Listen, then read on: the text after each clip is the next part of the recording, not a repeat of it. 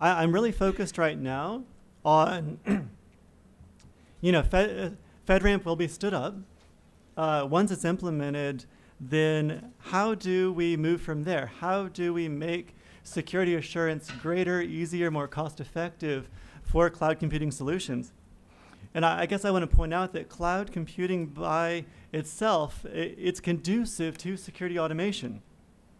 The whole characteristics of resource pooling, the location independence uh, within a data center of processing and data, uh, the level of homogeneity that exists at some level of abstraction within most clouds, just the economic need for having a large cloud and the economic need for automated management. All of that uh, makes it very easy to move continuous monitoring, security automation into a cloud environment.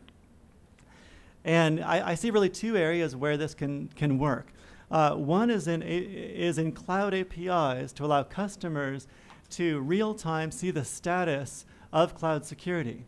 Uh, there's an industry effort out there, A6, uh, which is it's, it's simple, but, it, but it's a start to sort of give cloud customers uh, visibility into sort of security documentation around a cloud.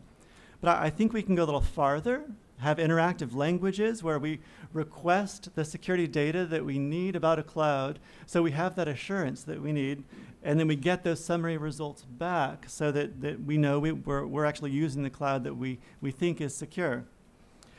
Uh, very quickly, for this to happen, we need security enumerations, we need uh, querying standards, we need reporting standards, um, we need scoring systems. What amazes me is in the last few months that I've been researching this, the technical pieces exist. They've already been developed, some over the last 10 years, some over the last year. They're being finalized. All we as a government need to do is create reference architectures, put them together, and all this can happen.